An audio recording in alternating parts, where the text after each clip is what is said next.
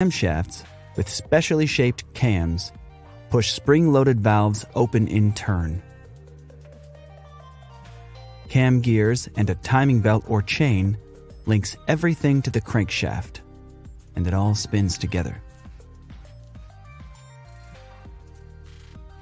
The crankshaft translates piston power out of the engine